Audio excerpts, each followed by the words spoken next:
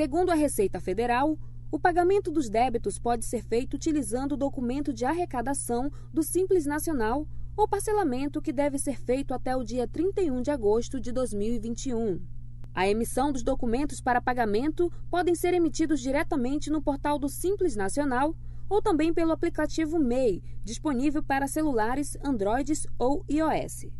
A partir de setembro, a Receita Federal alerta que deve encaminhar os débitos apurados nas declarações anuais simplificadas para o microempreendedor individual não regularizados para inscrição em dívida ativa.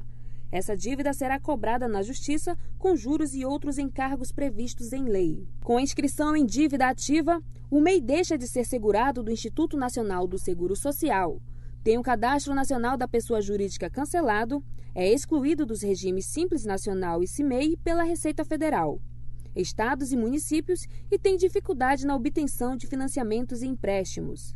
A Receita lembra ainda que, após a inscrição em dívida ativa, o recolhimento do débito de INSS deverá ser feito por meio de documento específico para a dívida ativa da União, enquanto o de ISS e ICMS diretamente em guia própria do município ou estado responsável pelo tributo.